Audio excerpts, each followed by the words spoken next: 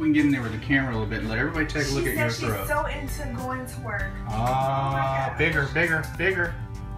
That, my friends, is a really ugly looking throat. Now, are you having any trouble swallowing?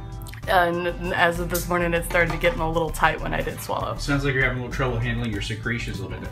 Okay, so we're gonna stop and we're gonna do a couple of little swabs, culture swab and mono spot, and we're gonna see what. comes.